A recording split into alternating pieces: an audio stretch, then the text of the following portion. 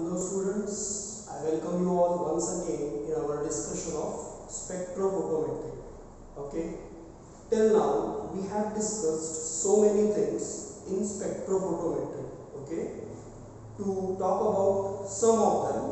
Okay, we can talk about some of them like हमने पढ़ा कि लाइट क्या होती है ओके इलेक्ट्रोमैग्नेटिक रेडिएशन क्या है इलेक्ट्रोमैग्नेटिक स्पेक्ट्रम क्या होता है और रिसेंटली हमने पढ़कर कंप्लीट किया, दो लॉज जो हम कहते हैं ओवरऑल लॉज ऑफ़ एब्जॉर्प्शन जिसमें अगर हम उनको इंडिविजुअली कहें तो वो है पहला बाउजर लैम्बर्ट्स लॉ और दूसरा है बियर्स लॉ और कंबाइंड मैनर में जब हम उसे पढ़ते हैं तो हम कहते हैं बियर लैम्बर्ट्स लॉ करेक्ट तो इस बियर लैम्बर्ट्स लॉ की जहाँ तक बात है ओके ये जो बियर लैम्बर्ट्स लॉ है, ये हमें क्या बताता है? what did this Beer Lambert law tells us as a statement हम क्या कहते हैं उसके लिए कि amount of light absorb by a particular chemical compound is it okay amount of light absorb by a particular chemical compound when a light of certain wavelength is passed through it okay depends upon two factors the path length okay or the thickness of that material And the concentration of that material in a given sample Hindi में अगर हम कहें तो किसी particular chemical compound से अगर एक particular wavelength की लाइट पास की जाए, है ना? तो वो कंपाउंड कितनी लाइट एब्जॉर्ब करेगा, ये उस कंपाउंड के दो फैक्टर्स पे डिपेंड करता है। पहली, उसकी थिकनेस और दूसरी, उसकी कॉन्सेंट्रेशन ये हमें बताता है Beer Lambert's law as a whole अगर हम सोचें।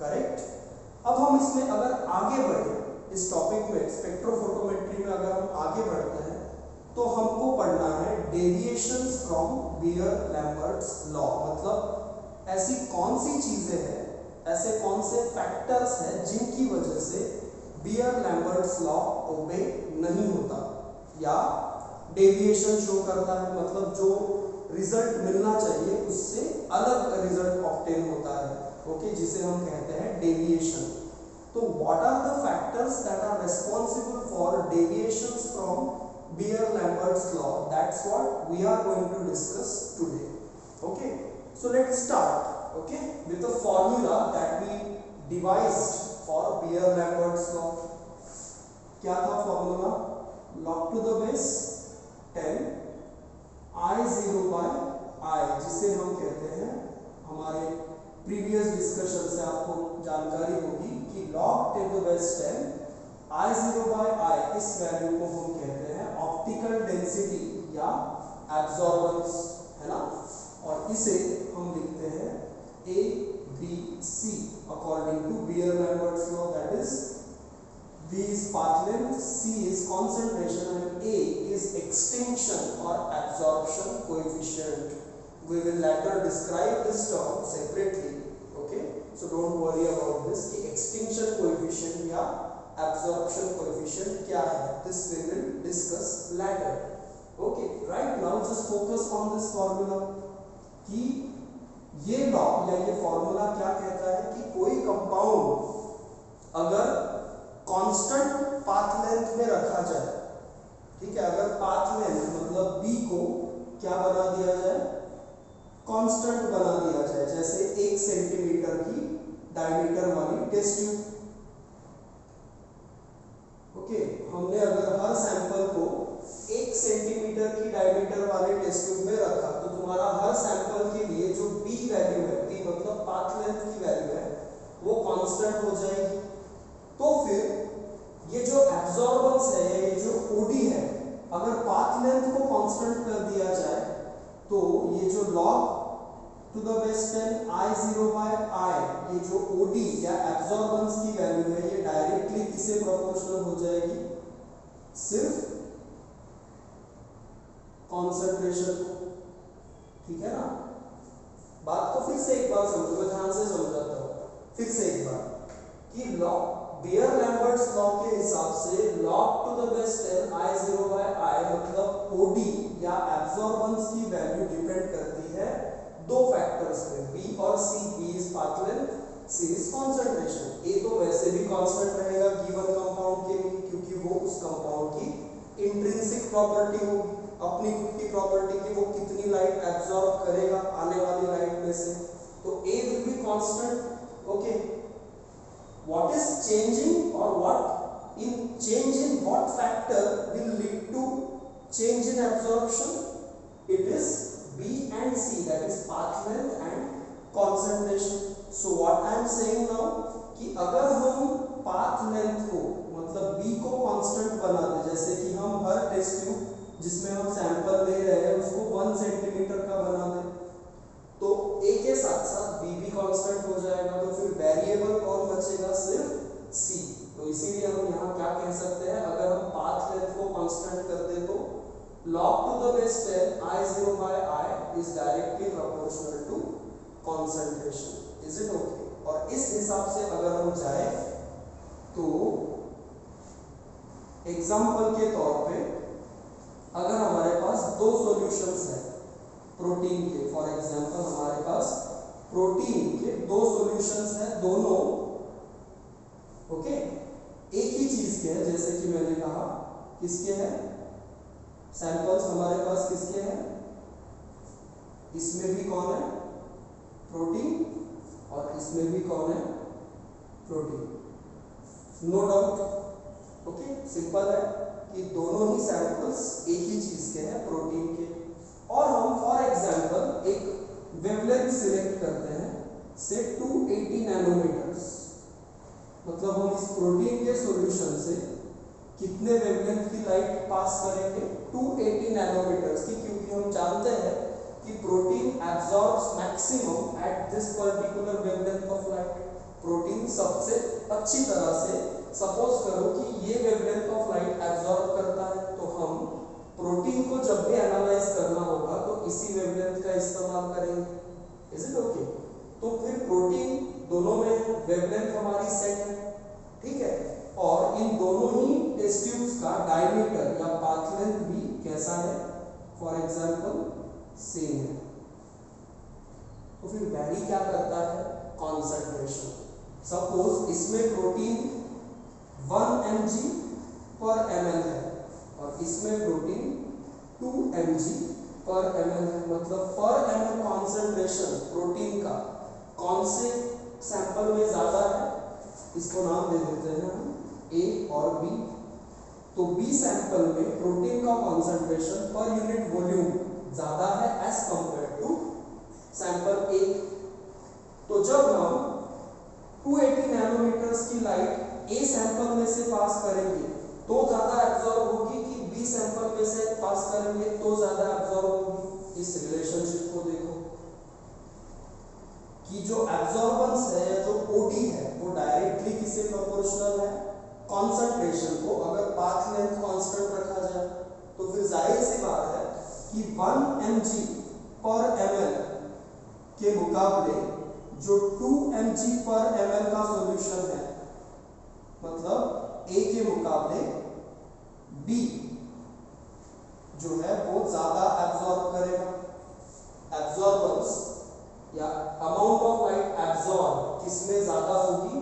बी सैंपल में, इस एग्जांपल के हिसाब से as compare to sample A लेकिन रिलेशनशिप जो है, अगर ग्राफ प्लॉट किया जाए तो रिलेशनशिप जो है एब्जॉर्बेंस और कंसंट्रेशन के बीच, वो हमको लीनियर दिखेगी। लीनियर दिखेगी इन द सेंस देखो समझाता हूँ मैं। अगर ये एक्सिस y एक्सिस जो है, उस पे हम ले ओडी ऑप्टिकल डेंसिटी और जो x एक्सिस है, उस पे हम ले कंसंट्रेशन क्योंकि पाथ लेंथ तो कांस्टेंट है तो वेरिएबल चीज़ कौन सी है? कंसंट्रेशन और ओडी जो है, वो हम स्पेक्ट्रोफोटोमीटर की मदद से ऑब्टेन करेंगे। कंसंट्रेशन हमारे पास दो है नोन वाले, एक 1 mg वाला और एक 2 mg वाला। ठीक है ना? तो 1 mg वाले कंसंट्रेशन की ओडी ऑप्टिकल डेंसिटी जब हम लेते हैं तो सपोज़ करो हमको मिलता है ऑप्टिकल डेंसिटी का वैल्यू 0.4 मतलब zero point one two three four तो हम पॉइंट यहाँ लेंगे है ना? वन एम जी और ज़ीरो पॉइंट फोर के इंटरसेक्शन पे ये ग्राफ प्लॉट करना तो जानते हो। हम्म, इतनी मैथमेटिक्स पता होगी। अब, जब हम टू एम जी वाले सॉल्यूशन का ओडी लेते हैं तो अगर सब कुछ सही है, हमने अगर सारा कुछ सही तरीके से किया है तो जो ऑप्टिकल डेंसिटी की वैल्यू है टू एम वाले सॉल्यूशन की, वो हमको मिलेगी 0.8 पे, क्योंकि कॉन्सेंट्रेशन डबल है तो ऑप्टिकल डेंसिटी की वैल्यू भी डबल आएगी। है ना? तो जब हम ग्राफ प्लॉट करेंगे प्लॉट करने के बाद जब उसको एक्स्ट्रापोलेट करेंगे तो ये मिलेगा स्ट्रेट लाइन है ना? चाहे तुम और एक क्यों ना तीन एम लोगे सॉरी चार एम अगर लोगे मतलब तीन लो चार लो पाँच लो छह लो तो ओडी उस हिसाब से बढ़नी चाहिए कि जब तुम लाइन ड्रॉ करो तो वो स्ट्रेट लाइन मिले। गेटिंग द थिंग समझ में आई ना बात? तो इस पर्टिकुलर तरह की रिलेशनशिप को कहते हैं लीनियर रिलेशनशिप और अगर सब कुछ सही तरीके से किया गया हो तो ये ग्राफ तुमको शो करता है कि Beer Lambert's law is being obeyed जो बियर लैम्बर्ट्स लॉ है, वो ओबे हो रहा है। हमने एक फॉर्मूला भी पढ़ा था लास्ट क्लास में कि अगर तुम स्टैंडर्ड सॉल्यूशंस की ओडी जानते हो और उसका कंसंट्रेशन जानते हो तो तुम किसी अननोन कंसंट्रेशन वाले सॉल्यूशन का कंसंट्रेशन निकाल सकते हो उसके ओडी की वैल्यू से। है ना? क्योंकि रिलेशनशिप कैसी है? लीनियर है। अगर सब कुछ सही तरीके से किया जाए तो किसी भी तरह का एरर हमारे एक्सपेरिमेंट में ना हो तो। तो मैं आपको इसलिए ये समझा रहा हूँ कि हमको आज जो चीज़ यहाँ पे पढ़नी है, वो है एरर्स क्यों आती है? या डेविएशंस जो है, वो क्यों प्रोड्यूस होते हैं? या बियर लैम्बर्ट्स लॉ कौन से फैक्टर्स के वजह से पर्टिकुलर मैनर में ओबे नहीं होता। मतलब रिलेशनशिप लीनियर होनी चाहिए, लेकिन लीनियर नहीं दिख पाती। ठीक है ना? अब आपको समझ में आ रहा होगा कि हमको पढ़ना क्या है। हमको पढ़ना है कि इस तरह की रिलेशनशिप अगर नहीं पाई जाती तो उसके पीछे के रीजंस कौन से हैं? व्हाट आर द फैक्टर्स और say, components that are responsible for deviations from Beer-Lambert's law. Getting the thing? So let's just talk about them. Okay, what will be our next heading for discussion? Okay, ये जो आपको समझाया ये तो linear relationship कैसे दिखती है वो है ठीक ये हमारा फॉर्मूला है बियर लैम्बर्ट्स लॉ का और ये एक मॉडिफिकेशन है कि अगर हम पाथ लेंथ को कांस्टेंट रखते हैं तो जो बियर लैम्बर्ट्स लॉ है या जो एब्जॉर्बेंस या ओडी जिसे हम कहते हैं वो डायरेक्टली सिर्फ़ कंसंट्रेशन को प्रोपोर्शनल हो जाएगा मतलब कॉन्सेंट्रेशन वैरी करेंगे तो ओडी या ऑप्टिकल डेंसिटी भी वैरी होगी। ना let's just talk about deviations.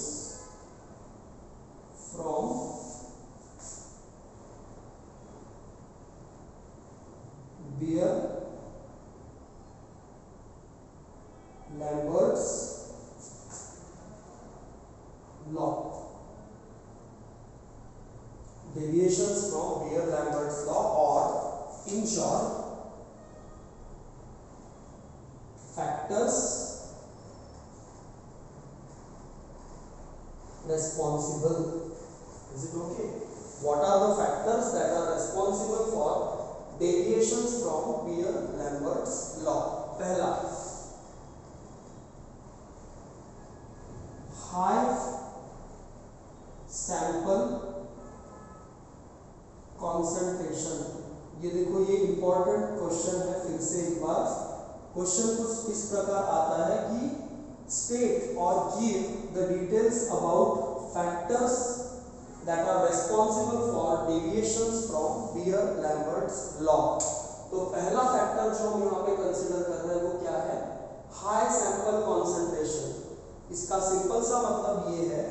कि जिस सैंपल का हमें क्वांटिटेटिव एस्टिमेशन करना है ओके जिस सैंपल का मतलब चाहे वो प्रोटीन हो, चाहे वो कार्बोहाइड्रेट हो, चाहे वो डीएनए हो, चाहे आरएनए हो या और कोई बायोमोलिक्यूल हो स्पेक्ट्रोफोटोमीटर की मदद से जिस भी कंपाउंड का हमें क्वांटिटेटिव या क्वालिटेटिव एनालिसिस करना है ओके उसका सैंपल कॉन्सेंट्रेशन बहुत ज़्यादा हाई अगर हो तो वो बियर लैम्बर्ट्स लॉ से डेविएशन शो करने के लिए रेस्पॉन्सिबल होगा क्योंकि देखो I am writing it here in descriptive manner कि high sample concentration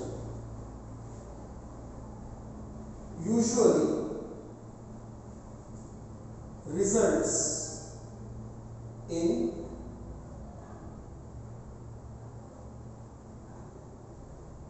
dimerization. Of sample components and absorptivity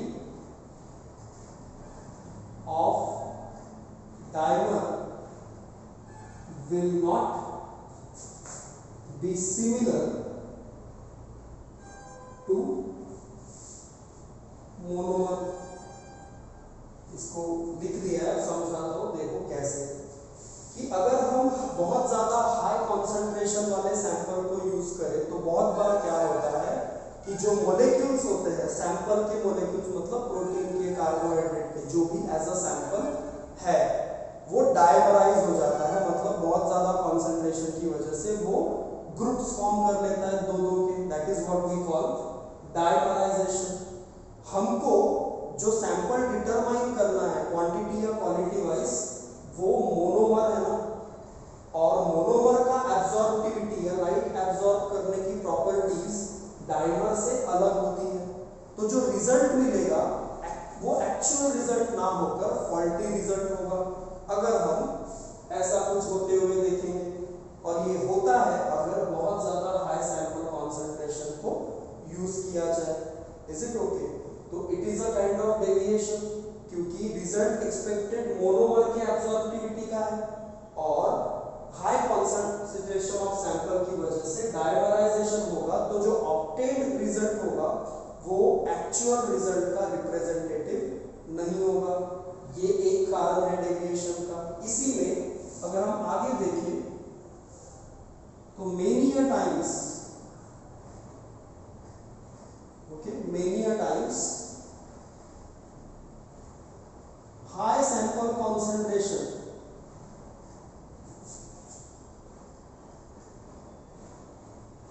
leads to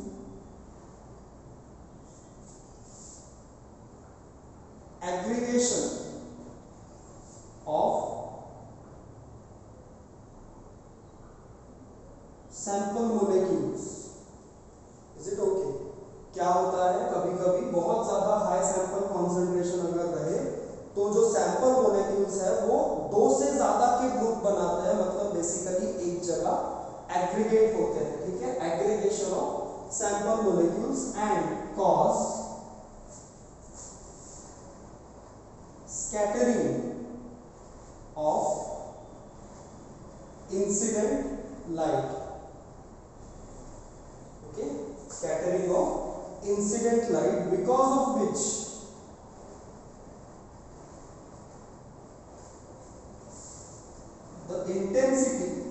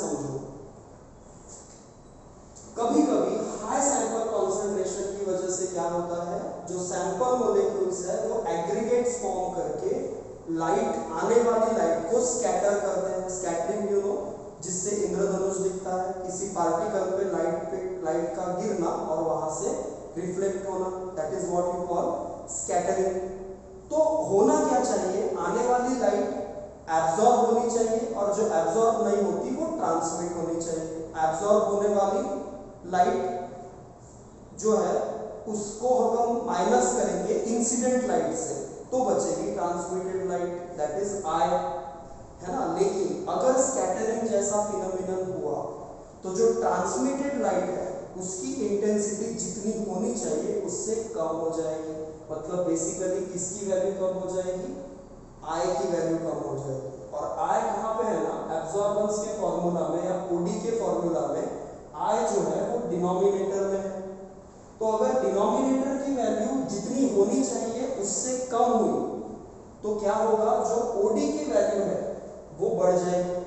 मतलब ऑप्टिकल डेंसिटी जितनी होनी चाहिए, उससे ज़्यादा मिलेगी। और ये एररफुल रिज़ल्ट होगा, क्योंकि उतनी को होनी नहीं चाहिए। क्यों हुई उतनी? क्योंकि ट्रांसमिटेड लाइट की इंटेंसिटी कम हो गई, है ना? और ट्रांसमिटेड लाइट की इंटेंसिटी कम होने के पीछे का रीजन कौन है?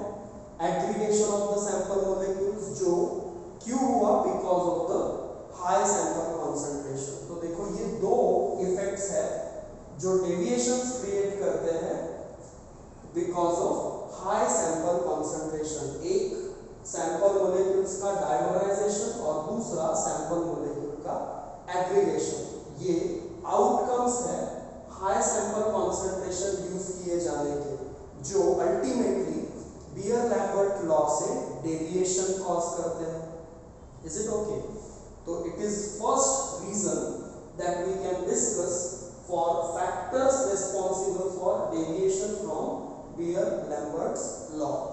Let's now move towards another factor. Okay?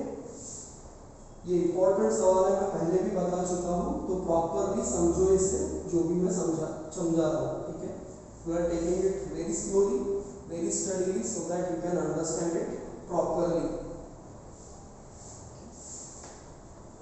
लेकिन हाँ इस चीज़ को समझने के लिए तुम्हें बियर लैम्बर्ट्स लॉ और उसका जो डेरिवेशन था, उसे प्रॉपरली समझना होगा। और उसके लिए, अगर आप नहीं समझ पाए हो अभी तक just go and watch previous videos where I have discussed that topic as far as next thing is concerned, it is instrumentation error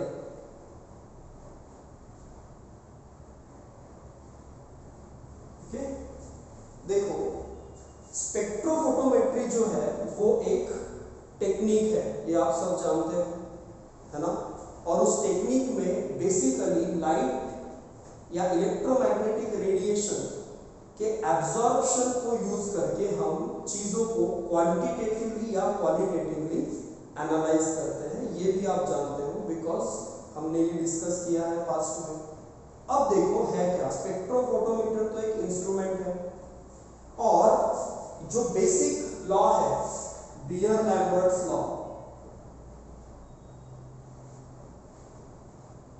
वो क्या कहता है?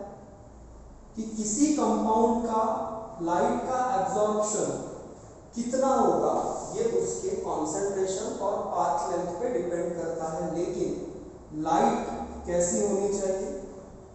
Light should be monochromatic.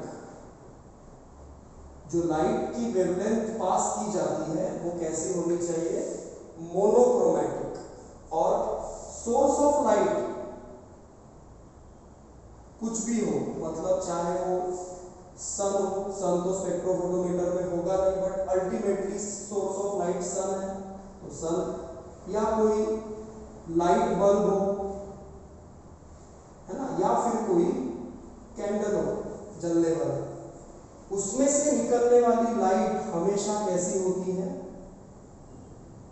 Polychromatic अब आपको मैं एक छोटा सा कॉन्सेप्ट यहाँ पे समझाता हूँ कि पॉलीक्रोमैटिक लाइट और मोनोक्रोमैटिक लाइट मतलब क्या?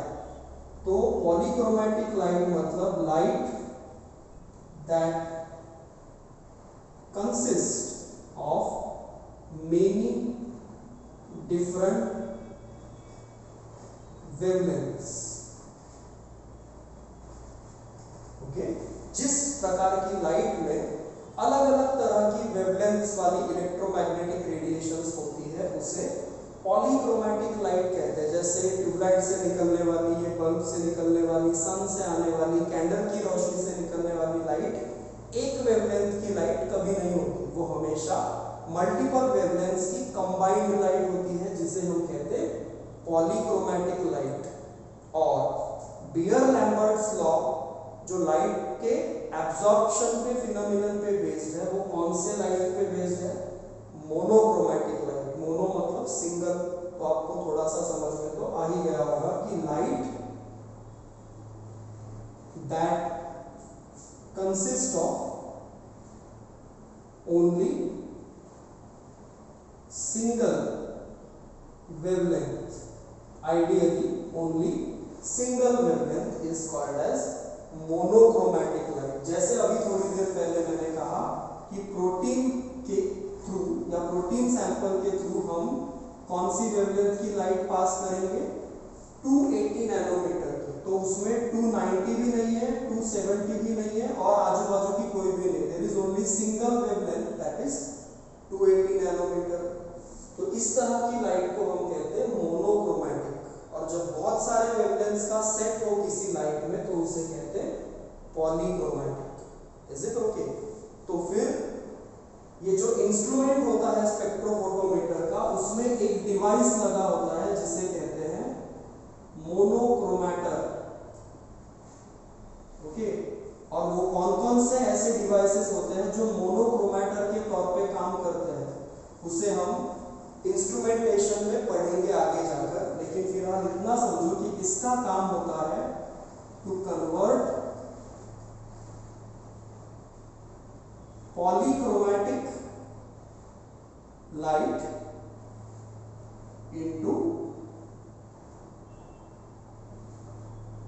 monochromatic light क्या होता है मोनोक्रोमैटर नाम के डिवाइस का फ़ंक्शन पॉलीक्रोमैटिक सोर्स से आने वाली पॉलीक्रोमैटिक लाइट को एक पर्टिकुलर वेवलेंथ की मोनोक्रोमैटिक लाइट में कन्वर्ट करना अकॉर्डिंग टू रिक्वायरमेंट अगर तुमको 280 की चाहिए तो 280 480 की चाहिए तो 486 90 की चाहिए तो जैसे भी तुमको रिक्वायरमेंट हो वो काम ये डिवाइस करके देता है जो स्पेक्ट्रोफोटोमीटर में लगा होता है अब बात कहाँ आती है कि अगर ये डिवाइस अपना काम ठीक तरीके से ना करे मतलब क्या प्रोड्यूस हो इंस्ट्रूमेंटेशन एरर अगर प्रोड्यूस हो तो पॉलीक्रोमैटिक लाइट आने वाली पॉलीक्रोमैटिक लाइट मोनोक्रोमैटिक में कन्वर्ट नहीं हो पाएगी और अगर ऐसा नहीं हुआ तो जो ऑप्टेन्ड रिज़ल्ट होगा, वो सही रिज़ल्ट नहीं होगा, क्योंकि सही रिज़ल्ट तो मोनोक्रोमैटिक लाइट पे बेस्ड करता है।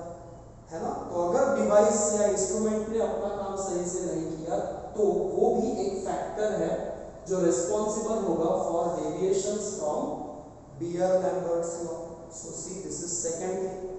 High sample concentration that leads to dimerization or aggregation of the sample molecules is the first reason. Instrumentation errors like non-conversion of polychromatic light into perfect monochromatic light is another thing that can be responsible for deviations. Okay. So, it's simple, just understand this. Next. और कौन सी चीज़ है जो deviation cause करेगी? So let's just look at that third thing okay दिमाग में रखो, जो जो हो रही है। पहली थी हाई सैंपल कॉन्सेंट्रेशन दूसरा है हमारा इंस्ट्रूमेंटेशन एरर्स और जो तीसरा है वो है temperature changes okay temperature changes इसमें क्या बोल सकते हैं हम? What we can say in this या टेम्परेचर इफेक्ट्स बोल दो तुम इसको? See many a times according to standard protocol okay बहुत बार या बहुत सारे एक्सपेरिमेंट्स में स्पेक्ट्रोफोटोमेट्री से रिलेटेड स्टैंडर्ड प्रोटोकॉल ये कहता है। Okay standard protocol says that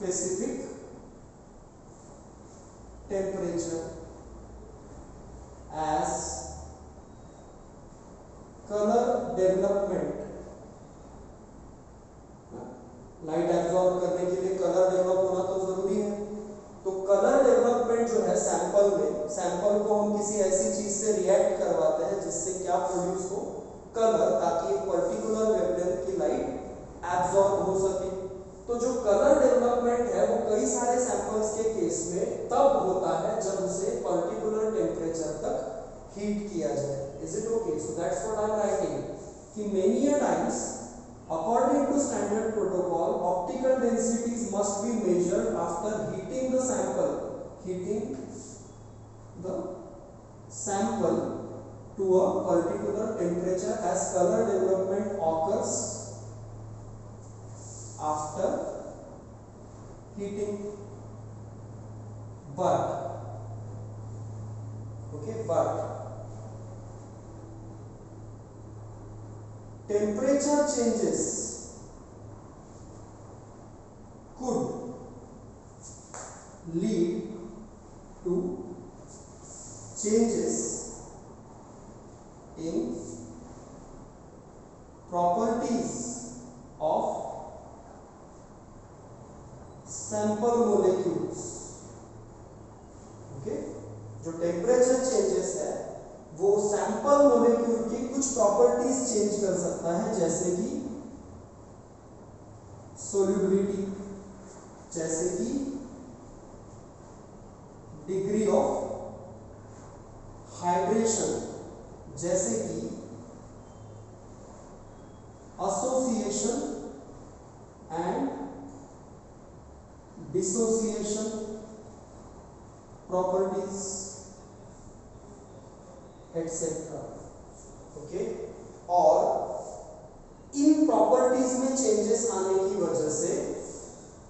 which can lead to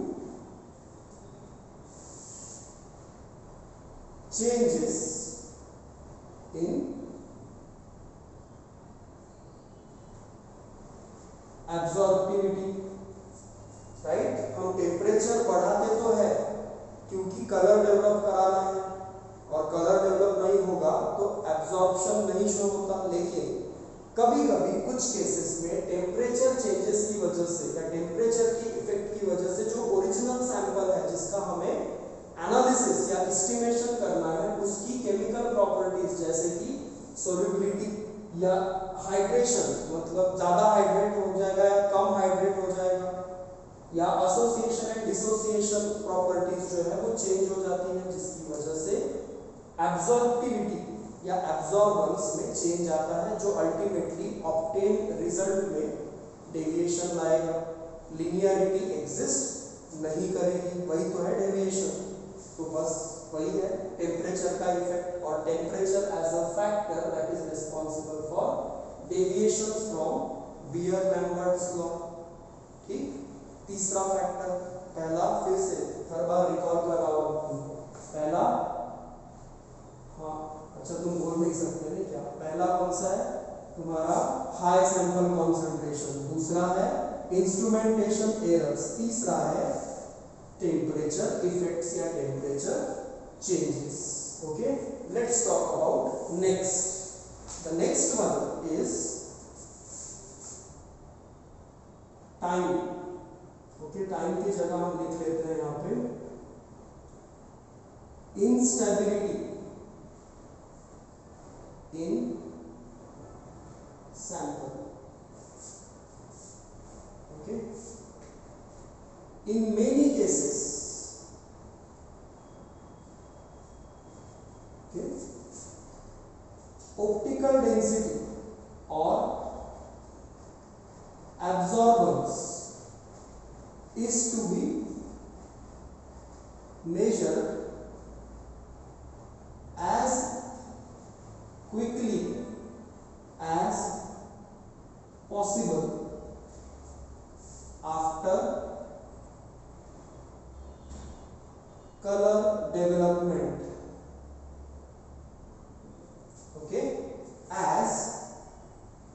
the samples under study are highly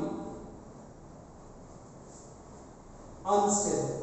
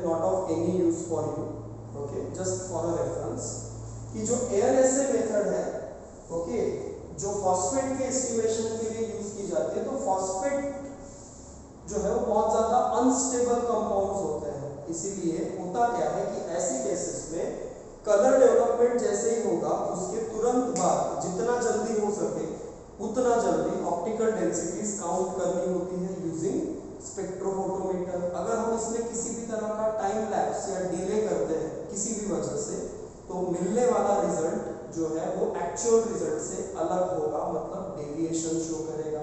तो टाइम फैक्टर किन मामलों में जहाँ पे सैंपल इनस्टेबल अनस्टेबल है, ऐसे मामलों में डेविएशन के लिए रेस्पॉन्सिबल फैक्टर हो जाता है।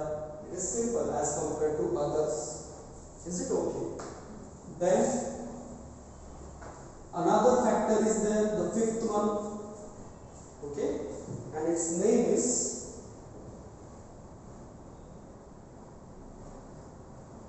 fluorescence okay fluorescence क्या है? तो फ्लोरोसेंस एक फिनोमिनन है. Is it okay if you know then fluorescence क्या होता है कि किसी कंपाउंड की ability ओके अब यहां लिख देता हूं मैं ability of a compound to absorb light of lower wavelength and emit it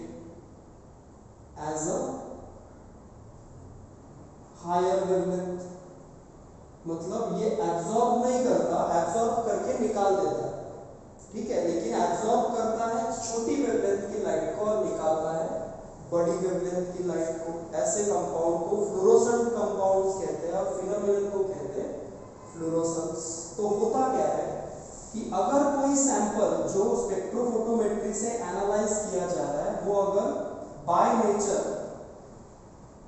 fluorescent है। है ना? तो क्या होगा? आई ज़ीरो जो इंसिडेंट लाइट है, उसका कुछ हिस्सा वो एब्जॉर्ब करेगा और कुछ हिस्सा वो फ्लोरोसेंस शो करेगा तो जो निकलने वाली लाइट होगी आई मतलब कौन सी ट्रांसमिटेड लाइट जो होगी वो सिर्फ़ ट्रांसमिटेड ना होकर प्लस फ्लोरोसेंस वाली भी लाइट होगी तो जो पहुँचने वाली इंटेंसिटी है डिटेक्टर तक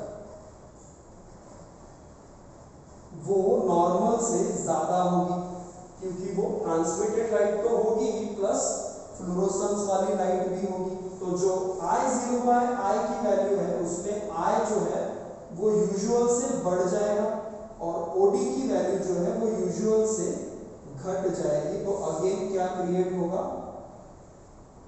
डेविएशन क्रिएट होगा, क्योंकि ओडी की वैल्यू लीनियर होनी चाहिए। ना बढ़नी चाहिए, ना घटनी चाहिए। दोनों को ही हम क्या कहेंगे? डेविएशन भी कहेंगे तो अगर फ्लोरोसेंट सैंपल है तो वो किस तरह का डेविएशन शो करेगा नेगेटिव डेविएशन ओडी ओडी की वैल्यू को घटाएगा लेकिन बेसिकली डेविएशन तो डेविएशन है so fluorescence is one of the factor that is responsible for causing deviation from Beer-Lambert's law.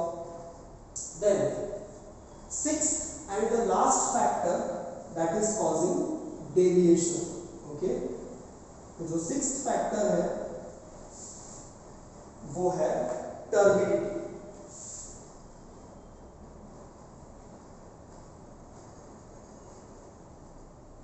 गढ़ूड़पना is it okay turbidity in sample due to any kind of impurity